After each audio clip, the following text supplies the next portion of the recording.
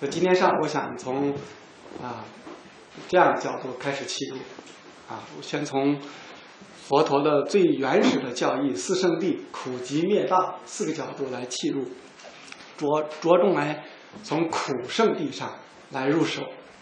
那么由这个四圣谛的导入，像必然就导出佛陀的他的这个人是谁啊？由这个人是谁，必然要导出他的核心教义是什么？因为他的核心教义，那我们可以吸取借鉴跟我们现时代的关系。我想从以下四个角度啊来说是上，但是我相信下午也还是要围绕这个主题。如果万一我离开了这个主题，各位请不妨就站起来把我再拉回来啊！我有个经常讲讲的就不知所云，像刚才那位女士发呆，呆过之后我在哪里不知道，我来这干什么不知道，经常会那样子，所以就发呆的好处是这样的。当然你们要炒股票千万别这样啊！那佛陀他的四圣谛，哎叫苦集灭道。所以，因为这个开口即言苦，导致了很多的学者和非佛教的专业信徒们总认为佛教就是一个极端，就是一个以倡导苦、以苦为核心的教义、以苦为终极目标的这样一个出世的宗教。这个是一种极大的、极大的误会和歪曲。啊要知道，苦集灭道，它是四个不可分的。苦仅仅是向我们揭示一个现象，这个现象在当时的印度，两千五百六十年前的印度，针对传统的婆罗门教，它的极端纵欲，因为在佛陀出世的时代，两千五百六十年前，婆罗门教在印度。已经差不多发展啊，传承了将近三千年，小三千年这样子，所以法久必生，婆罗门教产生了很多很多的负面的东西，因为印度的种姓制度啊，婆罗门、刹帝利、吠舍、首陀罗，从种姓制度就约定了婆罗门掌握了精神层面的，掌握了一切的最高的。物质、精神层面的最高都被他们法，那法久必生，滋生了必然的腐败，所以产生了一系列的哲学和宗教的反叛行为，这叫做新兴沙门思想、新兴沙门思想和运动。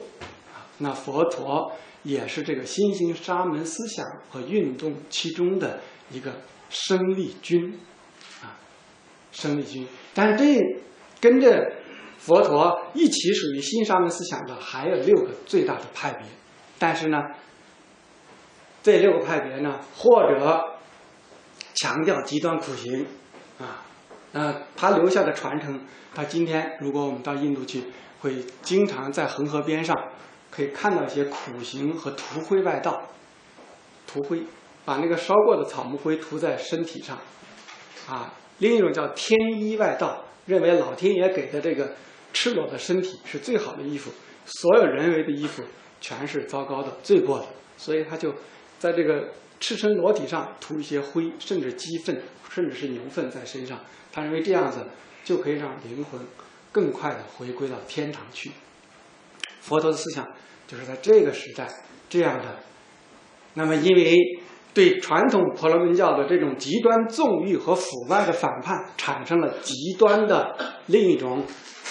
矫枉过正的行为就是苦行为终极的道，终极的道果，就是道的结果。那佛陀时时的提出，这个两边都有点问题啊。婆罗门教的极端纵欲带给人的并不是真正的解脱和智慧，那这种新兴的极端的苦行外道的行为导致的也并不是生命个体的解脱和智慧的完善，人格的圆满。仍然是不究竟的，有偏差的，有问题的。在这个时候，佛陀倡导了他的教法，就是中道的教法。那中道教法从哪里入手呢？因为当时以苦为终极目标这一个思潮太强大了，所以佛陀没办法说好，佛教也有什么苦道，所以他第一个说苦即灭道。但是佛教这里的苦跟外道所说的苦是有本质上的天壤之别。外道的苦是以现象为苦，本质是苦，过程是苦，终极还是苦。它是彻底一个悲观的、厌世的，乃至是绝望的。但是佛陀说，苦给他一个定义，叫做都卡。梵文，它的梵文叫做都卡。翻译成汉语的内涵呢，叫做逼迫不自由，叫做逼迫不自由。所以这个苦就不再是一个感官的感性的痛苦之苦，而是一个内在的心灵上的不自由、被束缚的那样一种感触、感怀，一点点的差异，完全不一样，本质上的差异，根本上的差异就在这里，苦仅仅是个。逼迫和不自在，这样一种生命身心的状态，那如何让这种不自在、逼迫的束缚从生命的现象中、从生命的流程中去消失呢？就像擒贼要擒王一样，佛陀说有一个道。这个道就叫做灭苦之道，熄灭苦的道路，熄灭苦的这种方法、技术、手段叫做道。所以苦即灭道，你看苦和道夹在两头，苦即灭道，苦和道，所以苦和道是有一个对应关系的，而不是不要了后三个，只有苦。只有苦，就跟当时的沙门的新思潮的极端的苦行没有什么两样。哎，但是它有后三个，为什么有这种逼迫？为什么呢？因为我们有了种种的直取和分别，这一点太高明了。啊为什么我们的生命有种种的逼迫和不自由呢？是因为我们有种直取和分别。想想看，我们活着，总是想到那个人让我不快乐，上司不让我不开心，家人让我不快乐，同学让我不快乐，陌生人让我没办法轻信。把我自己的信心，把我的信任，无条件的付出，没有办法。整个我们都认为是外在让我才有苦的觉受，但是佛陀说，苦的因叫做集，这个集合的集，集体的集，啊，集，集体集合的集，它就是让我们逼迫和不自在的根本原因。急，它是一个运动，运动态，不是一个静止态，啊，不是个静止态。那要想要灭苦，就必须找到苦的现象之后的内在的运行机制。运行机制就是急起为因，急是个动词，接着又一个动词，急起，起床的起，起来的起，急起为因。那知道了苦的现象，也知道了导致这种苦的现象的那种内在的运行机制，那么如何灭苦呢？叫做灭和道，道就是这种灭苦的方法。那这种奉行这种道，它的终极结果在哪里？是安住到天堂了，还是从此生死超越了，还是烦恼止息了？佛陀给出的这个专业词叫做“灭苦集灭道。用汉语说，就叫集苦道灭。集是因，苦是果，道是手段、方法，灭就是达到了终极目标。所以集苦道灭。但是印度话这个翻过来说，所以叫苦集灭道四圣地。那我们说集其为因不容易理解，说木灭修道最终结果不容易了解，但说苦的现象，佛教讲有了八苦交煎啊。我要再次重复的就是，各位千万不要听到我讲苦。就回到跟那个外道一样的，它不是痛苦之苦，啊，只是一个逼迫不自在之意，是逼迫和不自在之意。那这八种来自两个方面，第一个方面跟我们任何人个体的这个生命体息息相关的，叫做生老病死。出生之苦，谁还记得？谁还记得？可能我们都没有那个神通，没有宿命通，记不得自己在娘胎里十个月是怎么样过日子的，也记不得从这个产门出来那种低声的啼哭是什么样子。但是整个，你想一个小生命体要游泳也应该大一点游泳池吧？这么大一个小游泳池去游泳，是一个逼迫。所以生苦，从我们来投胎就已经开始了这种逼迫，就是不自由。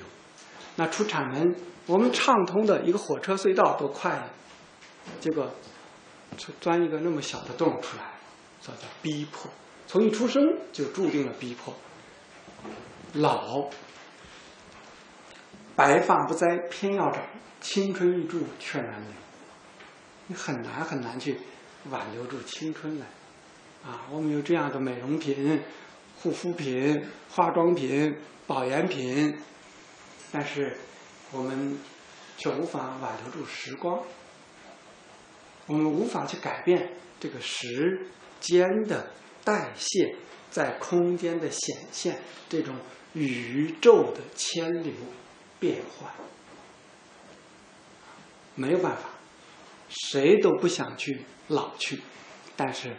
老之将至，不由自主，它是一种真实的存在。啊，病苦，啊，从生下来到现在从来没吃过药的，请举手。从来没去过医院的肯定有，啊，但是从来没吃过药的，恐怕找不到。病是一种普遍的，人人面前平等的。然后是死，所以对这个生老病死苦，是对任何一个个体生命，不但是人类的生命、畜生的生命、动物的生命，都是一样的，遵从同一个规则。只不过有的人活到一百二十岁，有的人活到七十岁，有的活到三十岁，甚至有的活到十个月、五五天，都有可能。那另外还有四种。是任何一个生命个体，每时每刻都有可能要面对、有可能要发生的不自在和逼迫。第一个叫做爱别离，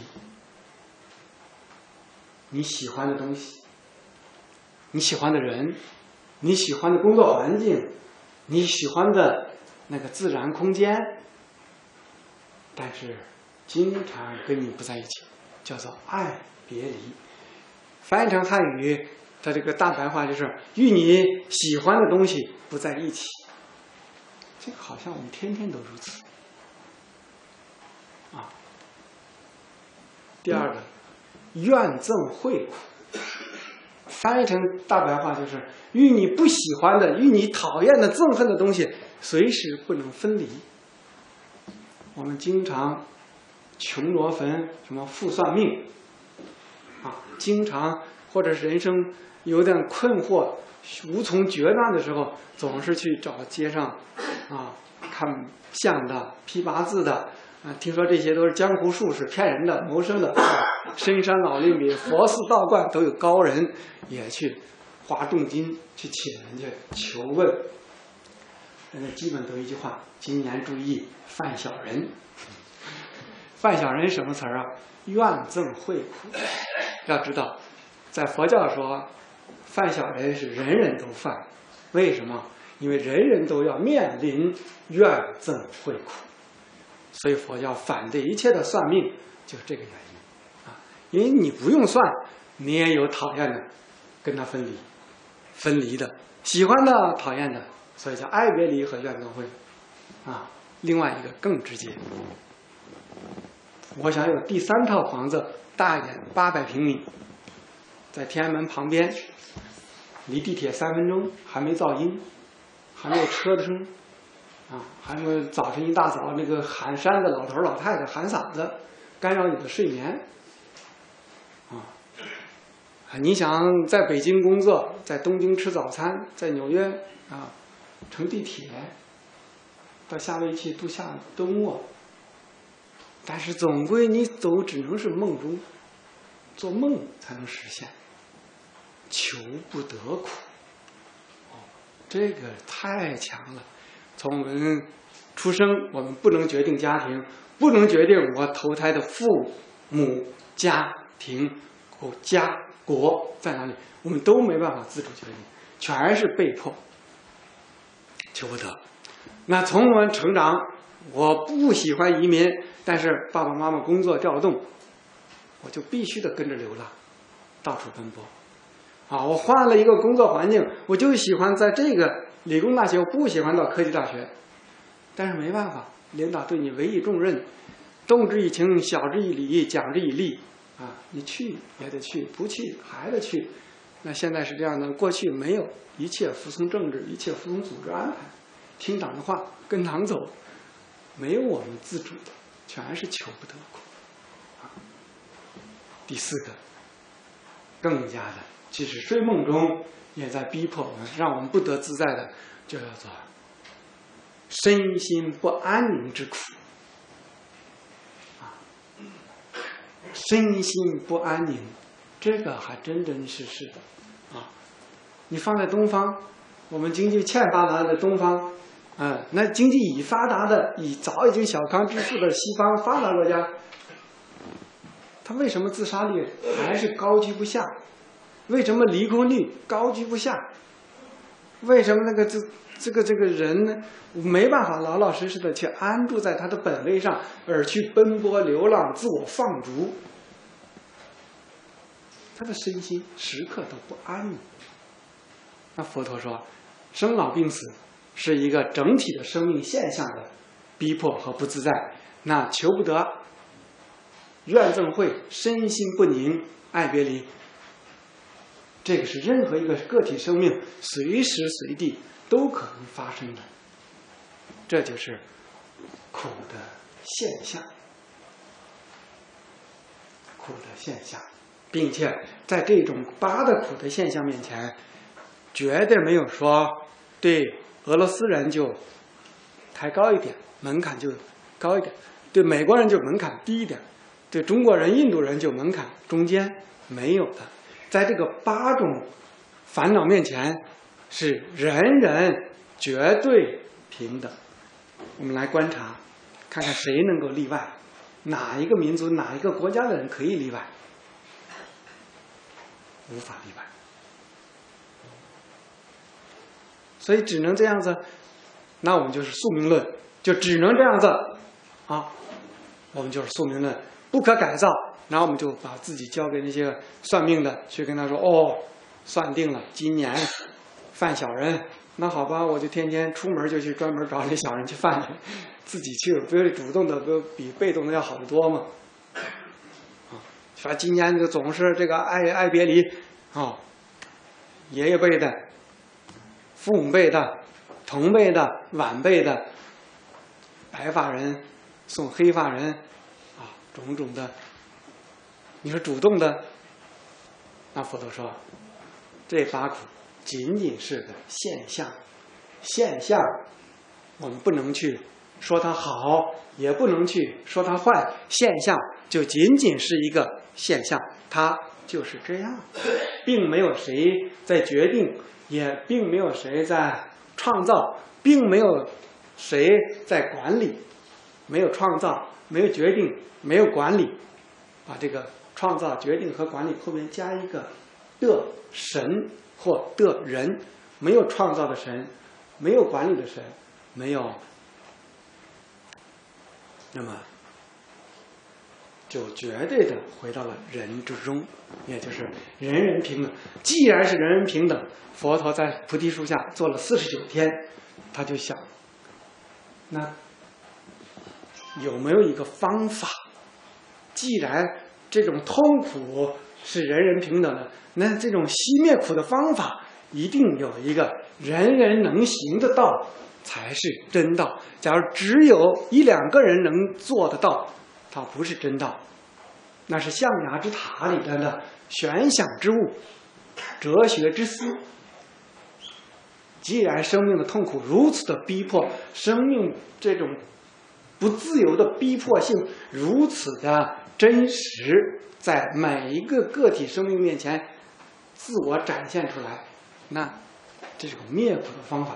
也必然是人人能做到的，才啊，哎，四十九天没白做，真的给他做明白、做出来，啊，当然这是我作为一个佛教徒、佛弟子，啊，这样来对自己的导师说，啊，真给他做出来了，有这种啊王婆卖瓜、自卖自夸之嫌，啊，那其跟其他宗教来说，那我们也说，其他宗教也有自己的。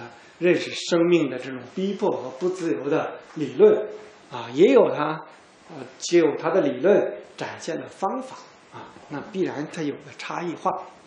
但是作为佛教，它的人人的能行的普世的这种体系，就是灭苦之道。所以从苦的现象找到灭苦的方法，那先知道为什么有这些苦的现象呢？就是集，啊，这个集就是四个字：分别执着。分别执着。佛陀在那个腊月十，在按着中国的日子，在腊八的啊前半夜，睹明星而悟道，啊，睹明星而悟道，悟道，哎，他悟道，连着说了三句重复的话，说：怪呀，怪呀。大地一切众生皆有如来智慧德相，只因妄想执着，不能正得。就每一个众生都有跟佛陀一样成佛的可能性，但是为什么每一个具备成佛可能性的众生没有成为觉者佛陀，还是众生呢？就因为四个字：妄想执着。妄想哪里来的？分别来。有分别而有妄想，有妄想而有执着，有执着而有什么？因为执着，这是我喜欢的，所以为了追求它，我会怎么样？求不得苦，对不对？我一旦拥有了，他要离弃我，跟我分离了，叫什么？爱别离苦。那我明明喜欢这个，你给我个这个，这叫什么苦？怨憎会苦啊！它随时在发生，所以因为我们虚妄的分别产生了妄想，由妄想产生执着，由执着就必然的引生了爱别离苦、怨憎会苦、求不得苦、身心不宁之苦。所以让我们这。它当下就发生了，哎，原来苦的现象并不在别处，它就在我们的这个直取上。那如何如何断除这个直取呢？逆推哦，因为有爱别离苦，因为有怨憎会苦，爱是占有，憎是推开，是以爱憎为为一个表象的。啊，以爱憎为表象，那我现在要就要开始怎么样熄灭它？熄灭它怎么样呢？从熄灭这个爱和憎是不是一个对立关系？分别直取，那我要断出杯子，我也用话筒，我还用纸巾，我也用，但是都为我所用，不为我所有。为我所用，你渴了必须要有水喝，对不对？你要想传播一个东西，必须要有工具啊！你要解决日常的这个烦恼，哎，还必须有这些随身的日用品。所以，一切的存在并没有问题，问题出在哪里？问题出在哪里？问题出在我们对它的态度，态度。有问题，所以才让我们痛苦。所以佛陀他这样的逆推，发现哦，要想灭苦，先改变的说把这些都消灭哦，所有的爱别离都把它移民到极乐世界去，所有的怨憎会的我不喜欢的都把它打入十八层地狱去，然后我这里就是一个纯净的天堂了。这种宗教的狭隘的狂热的想法。但是佛陀说这个不太现实。比如说吧，跟我们怨憎会苦的这些个，你哪一个能把它给移民的？哪一个你能移民走？我们看不惯的那些个四害，老鼠、蟑螂，啊，蚊子、苍蝇，把咱们把它移民到极乐世界去，有可能吗？我们不喜欢的毒蛇、猛兽，我们更不喜欢的地震、海啸、洪水、干旱、瘟疫，都把它移民。佛陀说这些都不现实，现实的就是改变我们的自己。所以他的道就在这里，叫人人可行。放下就是道的最核心。放下就是苦集灭道最核心啊！直取吗？你直取当然，哇，真好啊！这东西是我的，爱别离，我才不想让你拿走呢。我靠，你就抱着吧，拿着吧，嗯，拿着拿着，能多久？各位说，特种兵我估计能待一个小时。咱们做咱们学员有谁想练习一下？谁能这么拿拿拿多久？放下就是。但是放下不是毁灭，所以当时这种六师外道跟着佛陀同时代的新兴沙弥僧有一台说：“既然这么糟糕，我们就把它毁它。”所以断灭论就是把它毁了，毁了啥都没有了，那命也没了，生命也没了，那还要这个地球干嘛呢？要智慧要干嘛呢？毫无作用。所以他。它，它每一个都有存在的价值，所存在的就是合理的啊，它没有过错，过错就是我们的直取的态度。现在我放下直取的态度，万物不以我为侣，或者说不以万物为侣，伴侣的侣，但是不以万物为侣，我们可不可以跟万律这个万物呼应呢？比如我不说太阳是我的，也不说摘了月亮给你的女朋友、男朋友，但是我们可不可以借用呢？万物皆为我所用，啊，不拥有而使用，这就是道的核心。放下是他的一切一切的修行的最根本的一个目标。指向训练，啊，所以我们听听佛法讲讲。哎呀，最近烦恼很重，那怎么办呢？放下呗。我放下了，师傅，我都放的很多了。我说你放下什么了？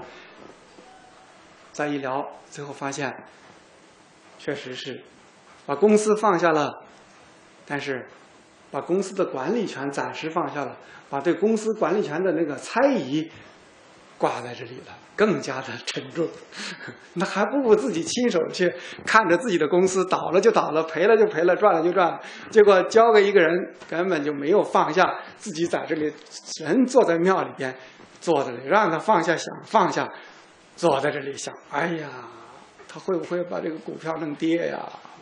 哎呀，坐了三天，你问他有什么发呆的哈？他一点都没呆住，坐在这里忙得不得了，不得了，开运动会，啊，所以这个功夫，它不是一个玄想的，不是一个空洞的说教，这个放下是个实证功夫。这两个字，啊，我们都容易说，但是很难，都是很难，它是做到做到的功夫啊。所以苦集灭道，那从苦的现象导致了四圣地的教法，那我们就来。再来回到这个佛陀啊，为什么是佛陀揭示了这个教法，而不是当时的婆罗门教这些大师们，或者新兴的其他教的大雄，或者说其他教的啊弗罗那耶舍子？为什么是佛陀提出了这样说法？那我们来看看释迦牟尼这个人，他出生在印度啊，今天就是尼泊尔，尼泊尔的。啊，兰匹尼花园离印度的北方邦大概只有三十五公里，在那个地方出生。他的父亲叫净饭大王，啊，净饭大王，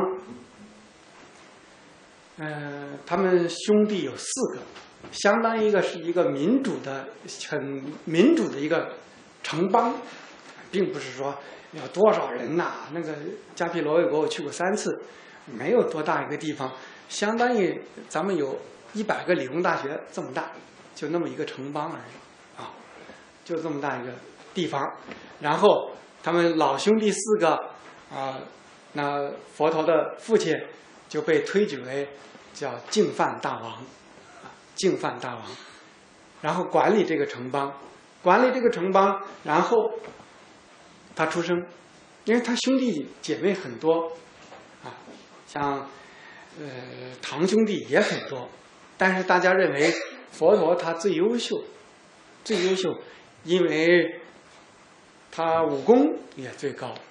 现在印度还有一个地方，当年他射箭的箭井，啊，就是他射箭，这个箭穿过那个靶子，然后遁到地，地上竟然扎一个坑，这个井竟然还在。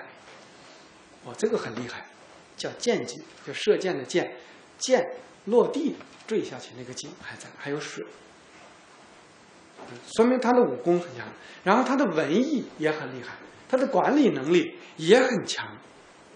他一出生，当时有一个叫印度的一个修行人叫阿斯陀仙人，印度的仙人不像中国理解的道家的神仙是可以飞的，不是的。印度对仙人的界定，凡是你离群所居、与世无争的人，住在森林里边，都叫做。仙人，这阿苏的仙人年很长，看到这个小太子，给他也看相，说：“哎呦，这个小孩子，将来要是做做管理王位，能统一全印度；要如果不做王位，出家，那他可以成为觉者，教化人天，教化人和天人。”哎呀，这净饭大王一听了这件事儿，头大了啊！这个孩子。我死了之后，准备把城邦的管理权交给他，让他能发扬光大这个，继而统一全印度。因为那个时代，差不多印度有大大小小上千个林立的王国，相当于诸侯吧，各自为政，有的结盟，有的独立，有的保持中立，有的呢又随时被兼并和吞灭。所以是那样一个关系，啊，那佛陀的小的时候受到了最好的教育，也得到了最好的照管。他的爸爸担心他出家走这条路，所以就给他建了三个宫殿，一个是专门下雨的雨季，相当于每年的中国的呃一这个差不多十一月到三月底这个雨季一个宫殿。啊，那到四月开始最热的时候，旱季一个宫殿，啊，不不下雨不干旱那个时间，那个总共有三季，中国就是春夏秋冬，印度就三个季节，哎，南亚那个热的地方，三个季节，给他建个三个宫殿，让他不看到人间疾苦，闭目塞听，不让他出去游玩，要出去游玩了，先把那个街道都弄得干干净净。结果有一天，毕竟孩子大了不由娘啊，在王宫里边也不行，跟着车夫两个人，车夫叫车逆，太子跟车逆两个人出城。本来以前一出去玩儿，净饭大王都进街扫道，把所有那个贫者、病者、老者、死者都就跟我们这个九九年国庆一样，两广大街、平安大街一模一样的，没修好，没修好没关系，先把垃圾装房子里，啊，外边涂刷的干干净净的，过了国庆再说。这一九九九年就是这样的，我走在那个当时我走在这个广这个平安大街上。看到我就觉得很很好玩很好玩一件事情。那当时净饭大王就是这样来对待太子的，啊，对待呢。结果这一天呢，他俩偷偷跑出来的，碰到一个老人，然后佛陀说：“哎，这个是什么人呀？”车你说你：“这个笨蛋，这老人呢？”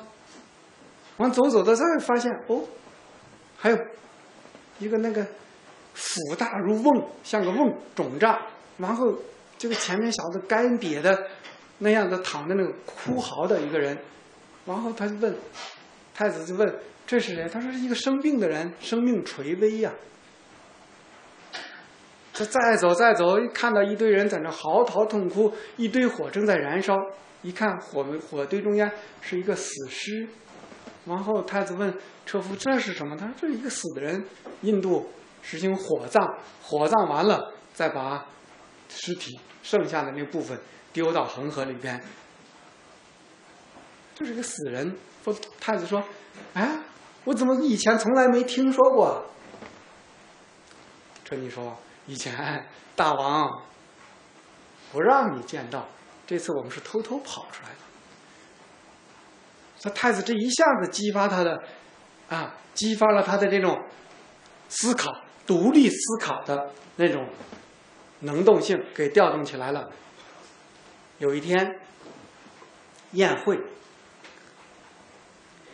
因为净饭大王担心他出家，在太子十六岁的时候就给他主持了婚礼，娶了他的表妹耶输陀罗。当时在他们迦毗罗卫国是最漂亮的女孩，娶了十六岁就结婚，然后这个亲族好友聚会，以这个歌舞。歌舞完了，因为你想那么热的地方，歌舞完了都累得不得了了。太子没有睡着，但是，一走过这个曾经歌舞这地方，发现这些个这些个他太太也好啊，那些个表表妹也好啊，表姐也好啊，这些亲戚的这些都在那白天涂抹了脂粉，睡着了，一个个的，那个都没有卸妆。就他一下子触发到，哎呀，以前纵情声色的那个那一刹那，他觉得不堪忍受。在十六岁的时候，啊，太子在十六岁的时候是经历了这些，所以我们现在好多人说这个佛教出家什么都不问世事，啥都不懂。恰恰相反，太子是什么都经历过。三个太太，他表妹是正房，还有两个偏房。啊但是生了只生了一个小孩因为只生了一个小孩就是罗侯罗，并且还是在佛陀已经成佛那时天出生的，成佛那天才出生，差不多那叫什么时候？二十多岁的时候。一说佛陀在十九岁的时候，十九岁的时候，终于不堪忍受这样子，然后。偷偷的跟着车夫两个人就跑了，跑了到了森林里边，拿着刀把头发剃掉，把衣服的这个都脱掉，这个黄黄这个黄屎的衣服都脱掉，送给车尼，穿了一身破布衣服，然后说你回去跟大王说，我去出家了，不正道我是绝不会回来的。从此就走了，走了，跟当时。婆罗门教的两个最高导师修学，一个修学了三个月，一个修学了半年。第一个导师跟他修学了三个月，得到了四禅定的最高层，啊，初禅、二禅、三禅、四禅的第四禅，他得到了最高层。那他的导师就非常欣赏的说：“这样吧，曲昙，他的俗名叫曲昙，说我把这个弟子都交给你了，你已经现在已经完全有能力超过我了，你可以带这些了。”但是佛陀说拒绝了，他说：“我跟您坐着定，我确实没有烦恼，但是我一出定，发现我的烦恼还在，这种苦的现实犹存。”离开了，离开又找了另一个大师，又跟他六个月学八次地定，啊，叫四空定，叫空无边处。打坐没有身，但是有个感觉，这感觉好像空间无际，就没有边，叫七大无外，那个境界叫空无边处定。那再深入一点叫实无边，就认识的实，没有空间。没有时间，没有身，也没有具体的心，但是有一个念头在知道，这个念头知道无边，叫实无边。然后再深入无所有，没有空间，没有时间，没有身，没有心，连那一知也不在，叫无所有。然后再进入叫非想非非想定，非想没有想法，但是说没有想法，又朦朦胧胧的有一个想法，知道我在这坐着，哎，叫非非想，叫非想非非想，这样一个定。他修了六个月，又达到最高层次。他导师这才干脆说：“好了，现在我拜你为师。”他太有领悟力了，但是佛陀给拒绝了。他说：“不行。”我出了这个定，我发现我的身心还是很自然。天热了，我仍然烦恼。啊，在没有正道之前的太子，跟我们的想法都是一样的。啊，一旦正道了，那从此刮风也不用怎么样出围墙，下雨也不用打伞啊，大太阳也不用涂防晒霜。反正你只要一正到了，你就万事 OK，什么都是自由自在的了。他想法是一样的。他说：“不行啊，我到了四八定了，我仍然是不不入定的状态下，还是蚊子咬我会痒，毒蛇来了我会恐惧，恐惧的心在，烦恼的心在，这不是解脱呀。”离开了，离开了。那么，这个传统的婆罗门教，两个当时全印度最高明的，他已经亲近了，没有答案。然后再到哪里来呢？新兴的这些个苦行沙门集团，来到新兴的苦行沙门教，就认为苦行才是道，啊，有一种苦行像鸡一样的单腿站立，一天要拿八个小时单腿站立，啊，另一种苦行外道要在这烧一个火，要知道印度的旱季平均温度四十三度、四十二度，白天呢，这个温度。但是这些苦行外道叫试火外道，烧一个大火圈像我们这个马术团训那个训训马和训那个狗一样，烧着火。这些人赤身裸体钻过来钻过去，一天超过八个小时。佛陀一一尝试，发现都没有办法让心灵的烦恼止息。然后最后说断食，好，他断的最厉害。我们断食七天，他一断六年，每天最艰苦的时候断食就是拿几粒那个麦那个那个水稻的那个粒，不是是米，是那个水稻的粒儿，没有脱壳的，搁在水里边浸一下，喝下来，饿的。他曾经在经典他自己说，他说。有一天，我在山洞里苦行，我以为摸到的是我的前胸，结果实际上是我的后背，饿到那种程度。六年，哎，这六年了，竟然还不行，心灵的烦恼还在。最后他说绝望了，绝望了，说苦行也不是办法。那好，就跑到尼兰禅河来洗个澡。这一洗澡，因为饿的不行，咣当晕倒了。晕倒了，刚好有一个苏切陀牧羊女，就是周边那个老百姓的一个小姑娘，放羊，十四岁，叫苏切陀。放羊，一看，哎呦，这一个修行人这个已经都晕倒了，赶紧就把那个羊奶，羊奶呀，因为印度它崇尚出家修行，所以老百姓都对所有出家修行的人一概都很尊敬，知道这些断食者应该怎么样，赶紧煮点粥，加了羊奶拌起来给他灌了，灌了，哎，喝起来有点力气了，有了力气，尼连禅喝上了岸。因为他苦行的这个山洞龙洞在尼兰长河的这一岸，那洗完了就到另一岸，另一岸就是菩提伽耶，大概有十一公里左右。走到这儿，一棵大菩提树，坐在这里。他说：“印度教的传统的他已经修学了最高的，认为没有终极的结果在苦行，经历了六年，仍然没办法带来终极的解脱。”怎么办呢？求人不如求己，坐在菩提树上发誓说：“我要再不解决自这个心灵的这个问题，死就死在这棵树下。”就坐坐坐坐啊，第四十九天，啪嚓悟到了。所以很多人都说：“这悟悟了什么呢？”悟到了啊！当然，这四十九天。因为他有前期的婆罗门教两个高手四禅八定的禅定功夫，他入了深层禅定，在深层禅定中，他会发现了一个刚才我们讲的苦集灭道。为什么有这种逼迫和不自在呢？就是因为有执取。那要想要没有这种。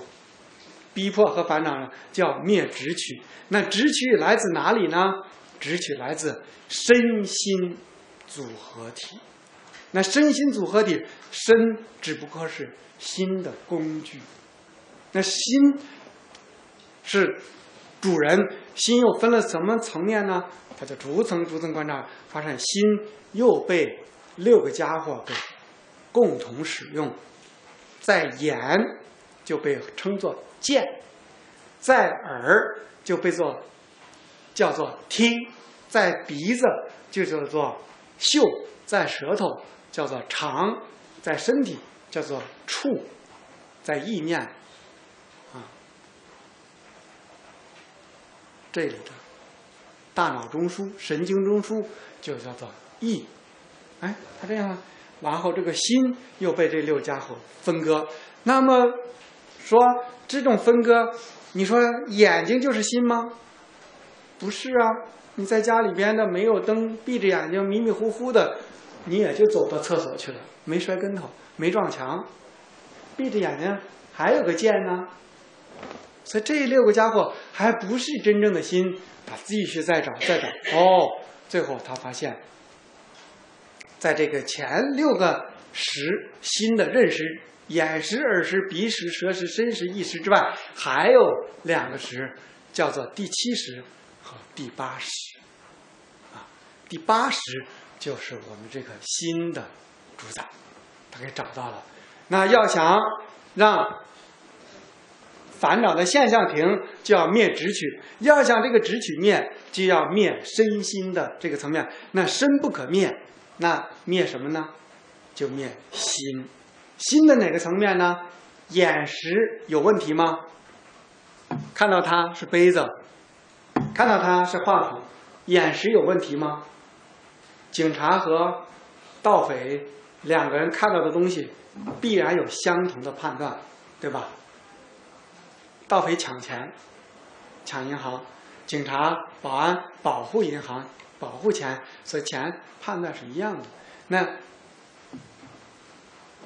你解脱和束缚，你好人和坏人，自由的人和不自由人，对这个基本的判定应该是一样的，那就是眼睛看任何东西没有对错，看到美女就是美女，看到野兽就是野兽。啊，耳朵听张曼玉的声音，梅艳芳的声音，张国荣的声音，哎，听谁的声音一样的，没有对错。鼻子嗅到大便的味儿恶心，闻到油条的味儿香，一样的。所以眼耳鼻舌身意不是罪过，那要灭什么呢？就灭第七识里边第八识。所以这就是佛陀坐在这四十九天，一点点、一点点的逆推，坐那里，千万可不是在那发呆空的，什么都没想，想的太多了。但是他绝对没想股票，啊，没想到什么融资，没想到要什么考研，也没想到下岗，他没想那些，就想生命是如何运行的，给他想透了。到了第四十九天，终于在那一刹那，哦，找到了终极的这个新的那个核动力在哪里？原来就是那个东西灭掉了，就灭了。所以，睹明星而悟道，是悟了这个生命的实相，啊，并没有得到另外的宝贝。这个宝贝完全在自自自身内。这从啊，他从出生到正道，三十六岁，三十六岁，可不是说他一出家就正道了啊，三十六岁才正道。证到了之后，没有走，并没有像经典说马上就能够飞空自在，像哦可以在腾风行云布雨，像神仙了。不是的，一证到了，又在这个小菩提树下，这个大菩提树的这一角，这棵大树在这儿，这棵小树在这儿，坐在那儿遥望这棵大菩提树七天，在想，哎呀，算了。我正到这个东西太没办法理解了，跟谁说谁说精神病刚放出来的，干脆我就死掉算了，涅槃啊，那个讲了一个礼拜不行，又到这一块儿，这棵小菩提树的南边这一边呢是放死尸的狮驼林，在这个地方又待了一个礼拜，哎呀，这些人都得死，我也得死，这怎么让才能不死？这是个问题。啊这是个问题，又想了一个礼拜，啊，大菩提树东边是个大水池子，他洗洗澡，每天在这洗澡，啊，又在这一块儿待了一个礼拜，又待了七个礼拜，大概在第四个礼拜的时候，在这个大菩提树的这一侧经行，当时据说就每走一步就出个莲花，每走一步出个莲花。是在这个时候，为什么出莲花呢？他因为想，他说我正道这个东西，跟任何人去讲，包括当时他的印度教的两个，这个婆罗门教的两个大师，他的老师没有办法领悟，他知道他们没办法领悟。那身边，因为他放弃苦行，呃，在尼连河洗澡，跟着那五个照顾他的亲族堂兄弟们，已经都到了鹿野苑，也都也听不懂，他算了。哎，第四个礼拜，他这经行的时候，梵天叫大梵天，说你这个这个太子好不容易成佛了，人间开始有佛教了，他你这么想就跑，那可不行，赶紧给他信心。哎，走一步出个莲花，走一步出个莲花，然后佛陀这个觉得很奇怪，怎么就出莲花了呢？然后梵天就现身，然后。佛陀说：“我想有涅槃。”梵天就劝请说：“你不能涅槃，因为我们这个人间很灰暗，需要有佛教的智慧，所以你千万不能涅槃。”他说：“问题是，我领悟这个东西，我自己都知道，没有办法跟别人说，别人也听不明白。”梵天王说：“没关系，从幼儿园开始，啊，从幼儿园开始，不用着急，因为我见过好几尊佛。”成佛跟你的想法都是一样的，啊！后来，因为我都劝请他们不要入涅槃，先要转法轮度别人，所以我今天仍然一样的，在你出现犹疑、恐这个怀疑的时候，我出现现身。哎，梵天王说完这些，据说空中有很多的那个佛同时发声音说：“哎，我们说是同样的经历，叫诸佛同时灌水。”给他灌顶，洗了一个澡，这下有了信心。那么他因为经过有了信心了，开始第五个礼拜思维，那么如何在婆罗门教已经颓废，已经奢华腐败，啊，那新兴的这个六师外道沙门集团，或者极端纵欲，或者极端苦行，啊，如何在这中间找到一个亮点和突破点？想了一个礼拜，最后给他想出了两个字来。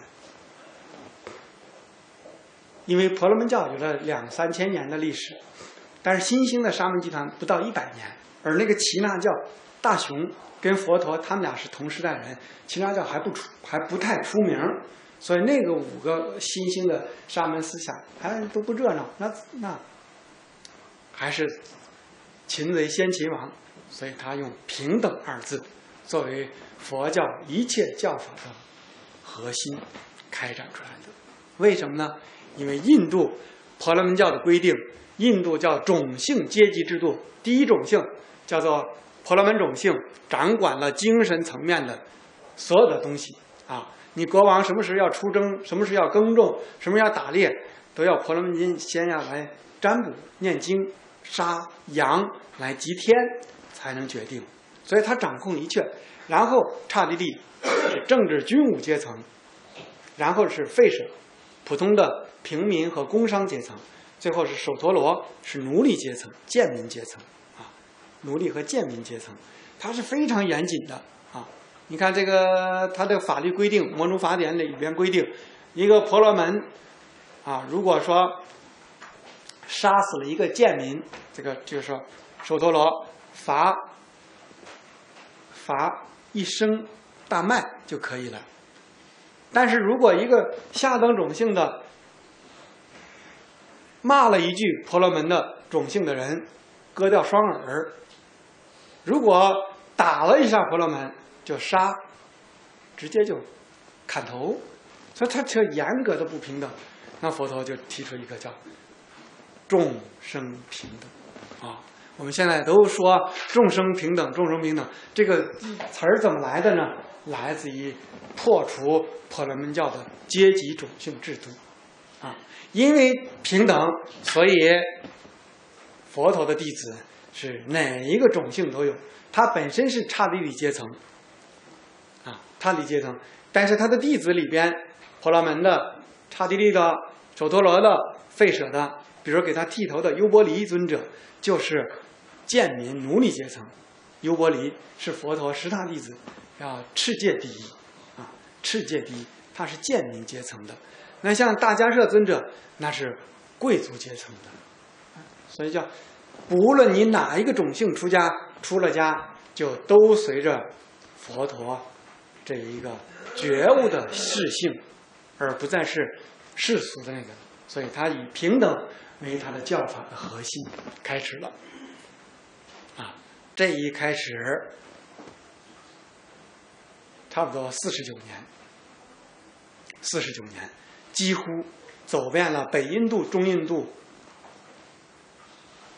去南印度只去过三次，基本是在北印度恒河流域和印度河流域，呃，当时的乔萨尼国和居萨罗国两个大国中疆。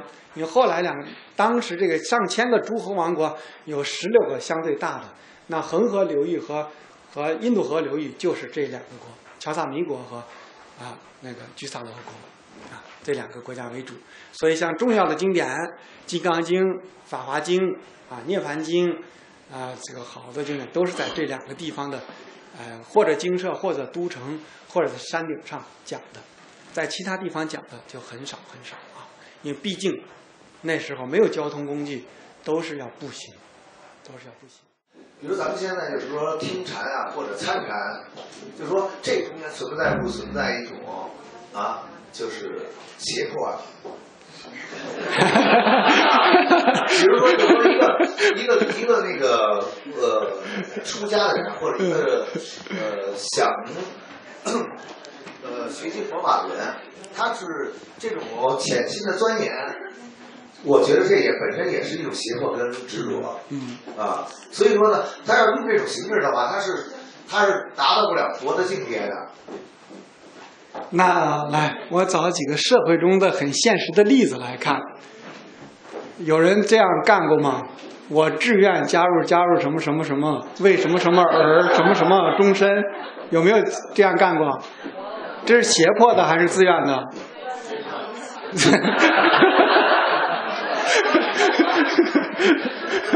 他也存在执着，就是说，即使他自愿的，他也存在执着。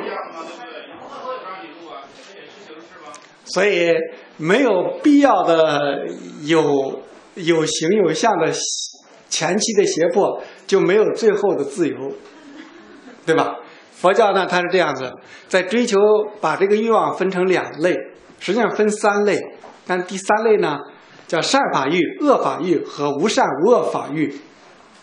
善法欲就是追求智慧、追求人生的圆满、追求国家的正义和自由，这叫做善法欲。所以我们都很冠冕堂皇的在国旗下、在英雄纪念碑前宣誓入党入团都可以啊。那我志愿剃除头发，成为僧侣一言，志愿求得解脱的大道啊，永不退舍，这是一种善法欲。所以这种直取。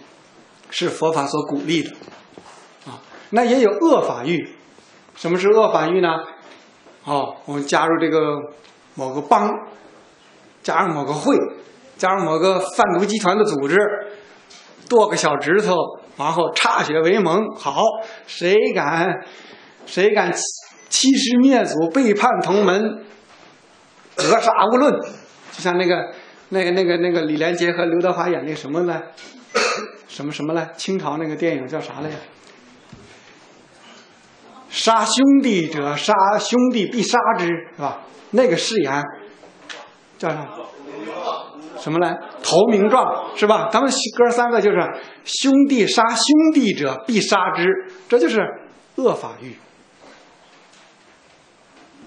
江湖强盗一种行为嘛。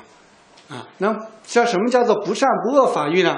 我渴了就想喝杯水，困了就想睡个觉，累了就想歪一下倒一下，这个不伤天不害理，于人无损，于己也无益也无损，叫不善不恶法欲。所以善法欲必须要鼓励、扶持、坚持，恶法欲必须要止、要停下来、要消灭。那不善不恶法欲。那无所谓，所以它是这样。因此，在积极的进取和呃一根筋的执着之间啊，它是有个界限的。但是呢，积极的进取，你如果没有摆正，就是一根筋的执着。所以这个临界点不大好掌握。但是呢。呃，确确实实有你说的问题。比如说佛陀，他老人家坐在树下说：“我不正道，我就不起于坐，就死在这算了。”这不是一个执着吗？它就是个执着啊！不，比如说地藏菩萨，大家去过九华山吗？地狱不空，誓不成佛，众生度尽，方正菩提，这不是一根筋吗？这典型的比马克思要高明的多呀，是吧？马克思说解放全人类就行了。地藏菩萨说：“是不但是解放人类，地狱不空，誓不成佛；众生度尽，众生是包括了地狱和人间的了。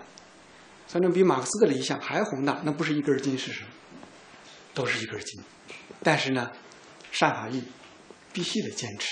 你不坚持，这个最基本的评判标准没有了，所以还得有。”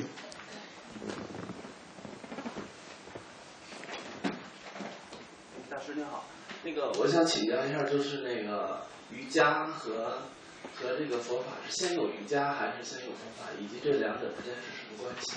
嗯，这得写写板书最好。先有瑜伽，后有佛法，因为婆罗门教的这个核心教育就是瑜伽。瑜伽翻译成汉语叫相应，相应。但达到相应有四个手段，第一个最高明的就是了悟。第一个是了悟，第二个叫哲思冥想，哲思哲学的思维和冥想，第三个叫爱，第四个叫做作业，所以瑜伽的本意就叫相应，相应的能够达到相应的四个条件，最高明的叫做了悟。叫做端坐念实相，端坐，端身正坐，念念什么呢？不是念佛啊，不是念咒，是念实相。实相是什么呢？就是《金刚经》所说的什么？凡所有相，皆是虚妄。若见诸相非相，即见如来。但是这样的人，在婆罗门教里边也是少之又少，寥若晨星啊。那第二个就哲思，所以他分了各种各样的教派。所以你看，这个费檀多、不二论费檀多、奥义书，这个整个通过哲思体系的啊，就思辨体系能进入这个相应的也很多。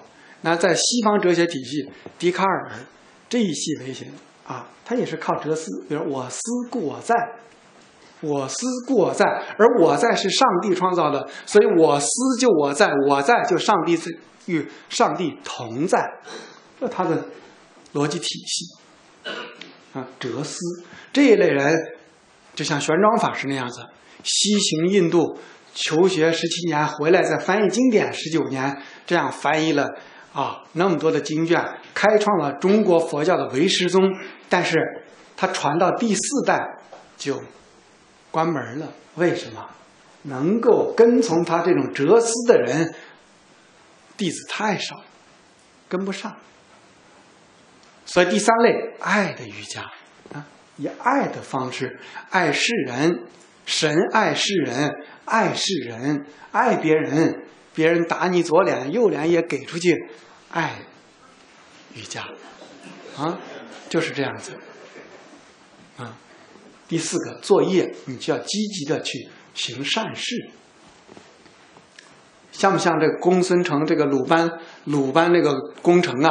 上者攻心，中者攻什么？攻交，围魏救赵嘛。三十六就围魏救赵，然后最次者攻城。第四个作业，你要具体做善事才能达到相应。回到瑜伽，很你得做那个，就像学中国的道家，你要积三千什么？三千件善功，三千件，具体的是三千件善功，你才可以成为一个有修行道法的这个资格。所以。作业是最低级的，但是最也是唯物的，能够你比如你捐一百个希望小学，你赞助五十个孤儿，这就叫作业的瑜伽，爱的瑜伽。那佛教给它高度概括，叫做爱与力行布施同事，爱与力行同事布施，在这个方面。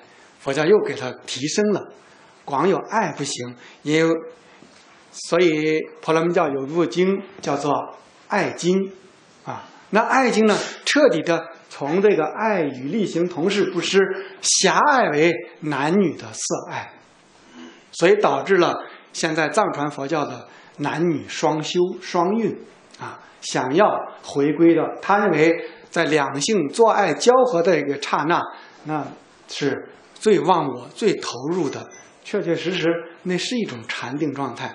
但是那种禅定状态是带有损伤性的。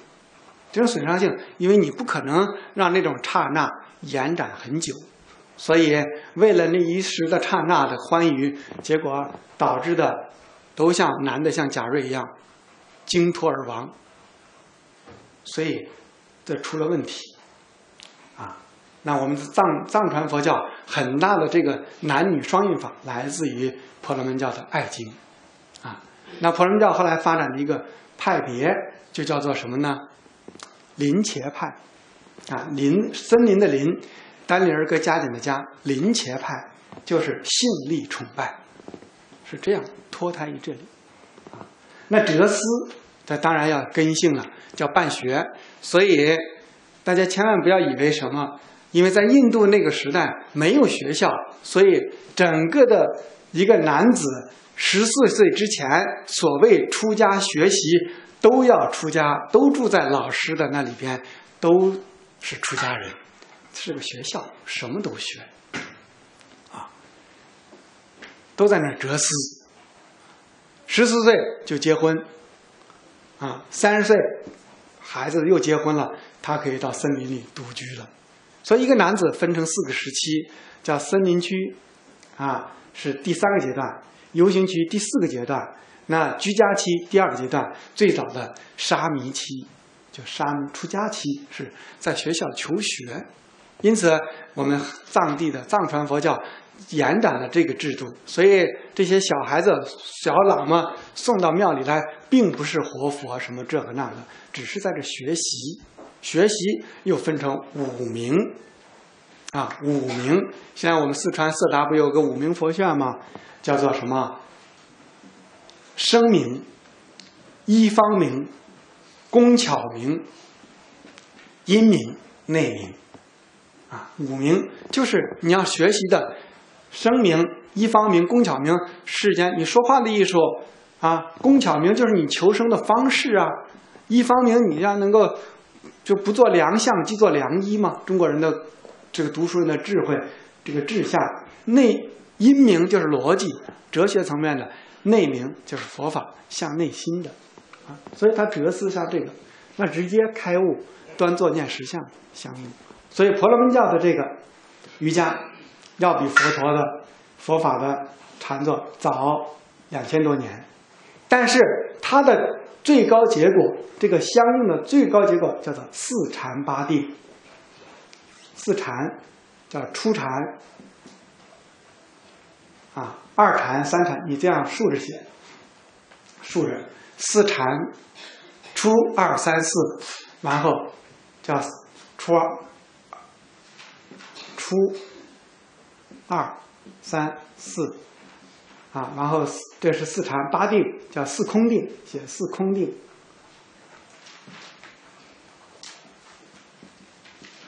还，然后刚才我讲过了，空无边处，实无边处，无所有处，非想非非想处，这就是瑜这个婆罗门教的瑜伽的最高的定，在第第八个叫。非想非非想处定，但佛陀前四禅都达到了，那第四个他也达到了这个四空定，但是没有灭尽受想定，所以佛陀他的定相应的高层次叫做在这写叫灭尽受想定，灭尽受和想感受和想法，感受来自生理的。想法来自心灵的，灭尽了身心这个层面，才能断除烦恼，熄灭轮回。所以两者时间上，婆罗门教的瑜伽要早两千多年。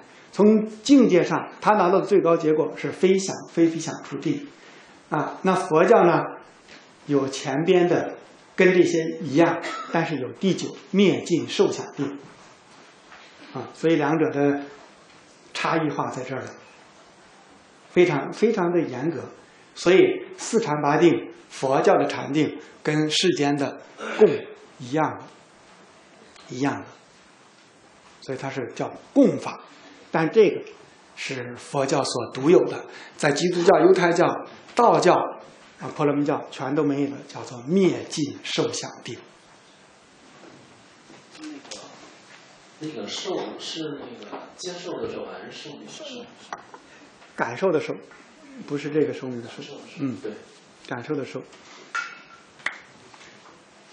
叫色受想行识嘛，五蕴啊灭五蕴，所以你看一下，大概这个就能分出来了，啊，现在我们大家都来，哎哎，今天今天这个就今天印度的那个最现在在全球最火的婆罗门教大师，今天到北京，我应该是明天要见的。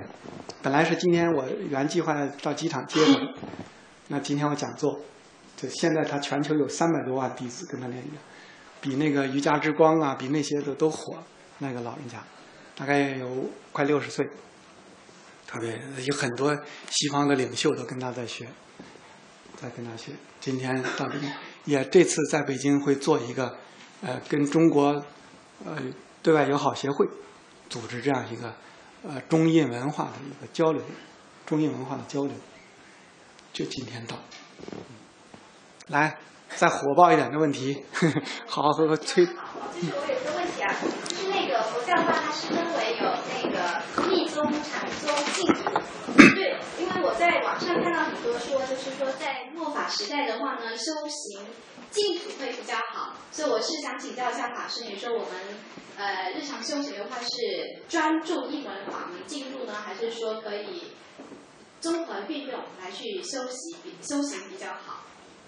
呃，哎，在座的有没有北师大的同学？有哈。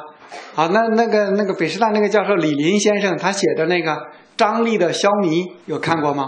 没有。那我推荐你看看北京师范大学的李林教授写的《张力的消弭》，专门讲大乘佛教八个宗派的这个问题，啊，八个宗就八个宗派的问题的关系。那这个八个宗派使成功的让印度佛教变成中国佛教的特质，你说是什么？你给我一个答案。啊，就是能够让印度的佛教成功的本土化，成为中国。现在人家一说佛教，都认为四大菩萨啊，普台山文殊道场、峨眉山普贤道场，在印度印度佛教里边不知道有这几个人啊，在印度佛教，你到斯里兰卡去，不知道还有阿弥陀佛，不知道啊。中国佛教呢，它是这样的：汉明帝公元六十七年传到中国来。但是现在又考证，公元前二年就传来了，叫浮屠氏传到中国来。但是我们官方的佛教和学学术界共同认为，就是公元六十七年，汉明帝永平十年，汉明帝有一天做梦，梦见哎有个金人，西方来的金人啊，然后绕着这个这个大殿飞行，然后醒过来就问这个博士弟子们说这是啥意思啊？然后有人就出来说：“这是西方有圣人，叫做佛陀，那说不定是他要来吧。”那个时候，因为丝绸之路的畅通，所以汉明帝就派了十八个使者到了西域，相当于今天的就在哪里啊？大概在加什米罗还没到，啊，过了秋兹，就是今天的库车那一带，再往加什米罗到了巴基斯坦和印度争端的这个地方，请来了摄摩腾和竺法兰两位法师。带了四十二章经，佛说四十二章经不是一部完整的经，是把不同的篇章片段，然后汇集在四十二章，像这个《论语》一样的啊，汇集的。那来到了洛阳，来到洛阳，当时住在鸿胪寺，啊，住在鸿胪寺。后来汉明帝就把自己的读书的地方清凉台舍了，建了白马寺。建了白马寺，所以中华第一寺是洛阳白马寺，在公元六十八年就开建了，啊，然后从这个公元六十七年到什么时期呢？应该到隋炀帝时期，基本上是翻译经典时期，啊，就是印度佛教来华，啊，那么华僧去求学，但是基本上都是以翻译经典为主，啊，从。玄奘法师西行，这个唐贞观年间走，他二十四岁走，然后再回来，啊，回来差不多开创了佛教的百花齐放时期，就是本土化。这个时期是本土化，从应该是从盛唐吧，禅宗、净土宗、天台宗、唯识宗、华严宗。啊，这个律宗、三论宗稍微早一点。三论宗在这个谁呀？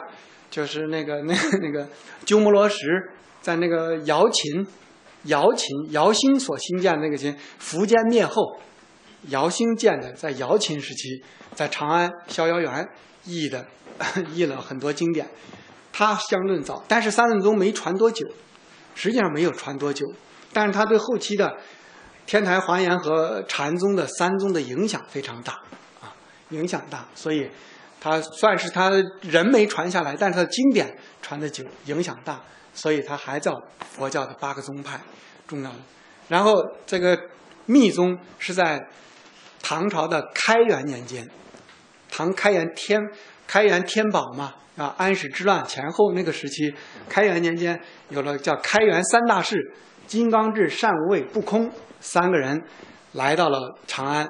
那中国有一个僧人叫做僧一行，著名的天文学家。僧一行啊，语言也通，功夫也深，帮助这几个人来翻译经典，所以密宗相对晚一点。啊，这样八个宗派，这个八宗共弘，也就是从唐到宋，但是到了宋就完了，完了什么呢？禅宗的禅宗五家七宗，就剩一个杨岐方会传下来，一个曹洞宗传下来，禅宗的云门宗、法眼宗、维养宗，完了消亡了。就临济宗在宋代又开出了杨岐方会和和这个黄龙会南，这不写太啰嗦了，是吧？所以这个这个这个呃，这个很专业的东西，有点像学者的东西了，啊，那往下一点点的传，所以到了到了宋末，禅宗就衰亡，净土宗就兴盛。到了明末，四大高僧开始，完了。即使是标榜为禅僧、直指人心、不立文字、见性成佛的寺庙和僧人，也开始就阿弥陀佛、阿弥陀求生西方极乐了，就佛教一点点的衰落、衰落、衰落。所以本土化的中国佛教，在明末开始走向下坡路，在清雍正时期啊，因为雍正的个人提倡和个人的禅学体验，所以禅学有一个兴盛期。那到了乾隆，在通过文字狱，首先在广东这个就最近才申请丹霞地貌成功的丹霞山那里，你看淡归禅师挫骨扬灰，因为他做了很多的反清复明的诗歌，被乾隆皇帝他尽管他自称菩萨皇帝，但是颠覆自己的政权，哪怕是师傅格杀无论，死了死了挫骨扬灰，那样的。从那之后，禅宗也就完蛋了，还是。迷信的，所以到民国废寺兴学，就是因为大量的这个劣迹，僧人们有地租，收了地租干嘛？抽大烟、赌博、玩女人，就开始。所以民国年间佛教就衰亡。最后梁漱溟先生，还蔡元培先生，一大批这些学者们讲：好，废除佛教，或者以心理学，或者以美学，或者以社会学，或者以哲学。或者西方的科学，甚至像那个新新文化运动那几个干将，专门有一批专门就以干嘛请神附体来要废除佛教，请神附体的方式来振兴中华文化。当时在民国大概一九一四到一九二一年间那几年，专门在上海都有这些刊物，叫废除佛教的刊物很多。那但是他废，那到了。啊，到了一九五三年成立中国佛教协会，到一九五六年再变革，到一九六六年，到一九七八年，再从呃千手千眼观音在中央电视台这春晚上一出，再到今天，这个中国佛教从公元前二年到现在是一个大的变革啊！你说哪个宗派更适合人？那当然是禅宗，因为它是彻底的体会了中华文化的儒家的。经典所在，体会了中华文化的主脉所在，啊，那当然是禅。说我我想理解就是一个到底佛教在社会当中什么定位？那么如果大家都去修行，这个社会还运转不运转？这一个简单的问题，一个困惑。这才不是简单问题，这是社会问题，对吧？这是真正的社会问题啊。你比如说历史上的三武一宗法难，啊，唐武唐武宗，啊，后周武帝三武一宗嘛，就法难，啊，大规模的灭佛运动，比如韩愈写的《建英佛骨表》入宫，被贬，都是因为大量的金钱和青壮劳动力剃了头，永生佛门。导致的社会问题，三武一宗法难直接就是两个原因：时代不同，主政者不同。但是原因，青壮劳动力一旦出家，第一，在世间放的王法，王法再不追究；第二，免苛捐杂税，不用从军，不用服军役。你看杜甫写的诗。朱门酒肉臭，路有冻死骨。看那个，想那个，那个国破山河在，什么的，家书抵万金那些上，你想那个安史之乱那些，好像那些动乱时候，啊。第二个就是没有劳动力了，国家没有青壮劳动力了。你想那时候他从军，从十五岁到六十岁都得从军。花木兰从军是阿爷无大儿，木兰无长兄，他只好去女扮男装从军。老妇逾墙走，老妇这么倚门看，都是那个时候需要劳动力，不是现在电牛一产，这高科技亩产一万一亩产一万斤，啊就可以解决一个村的粮食了。过去那亩产最多最多。中国最丰富、最肥沃的土地，过去的种子问题，亩产能到三百斤的，算是最好的地方。现在咱们都不再不不觉得，不觉得怎么样？要知道，那个时候亩产三百斤，其他地方是平天收，没有农业灌溉，甚至是颗粒无收。你大量的劳动力没有了，国家就要出问题的。外族一入侵，你根本国家就不存在了。所以。三武宗灭佛，直接的两个原因都是，因此它不是佛教问题，是社会问题，啊，那是不是说信佛就一定会贫穷挂钩呢？各位说是吗？是还是不是？是。嗯。越信佛越有钱。为什么？啊？为什么？为什么？因为他心态很好，所以说财源广进了就。心态不好，挣不着钱。可是我认识好几个大老板，现在都限制出境。当时在国贸二十二层一层是他们的，这个现在一动，他们就整个几个银行都倒闭。就是信佛，最后搞得极端的，兄弟几个全是穿那个平板鞋，穿中山装，这个最朴素的十五块钱地摊来的，然后出去跟那个瑞士、德国人谈判，也都是让让人家强迫吃素，这个公司倒闭。太幸福，多虔诚啊！恨不得把所有的刚从银行拿到第一笔贷款，不是去给奖给员工发工资奖励那些个创业者，而是拿了一大笔钱印了净空法师的那个和谐拯救危机，印了那几万册去送，他怎么他这企业没没赚呢？啊，这是社会问题，所以佛教呢？啊，佛教它很有意思，它绝对是说，不是说留下误区、留下盲点，让你不去思考。哎，你刚好有问题。我是本来是回答他这个问题。好，那你接着回答。我觉得这样的，就是这个富裕是这样的，有些人物质上富裕，精神上富裕。我觉得，最起码我觉得你们精神上都是很富裕，都比我们要富一点。另外，我有个问题，我问你一下啊，我一看你兼那么多的主持，还有那么多工作啊，我觉得你跟我们企业家差不多，也是干很多公公司很多事。我都有时候觉得挺累的，你累不累？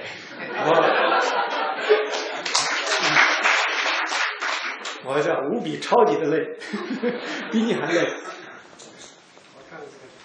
啊，是，非常。昨天一天。叫开会，开会，晚上到十点才结束，嗯，非常累。老师好，这个我对这个佛学不是太懂，但是我曾经看一本书，叫做《这个西藏生生死书》这本书，他把人呢，那个上面写人有前世、今世和来世，那他们虽然有四世，呃，人接触完事以后到来世之前还有有。一段时间，我们都不太懂这东西，能不能给解释解释？这个得，这个这个擦掉来写，中阴，中阴身，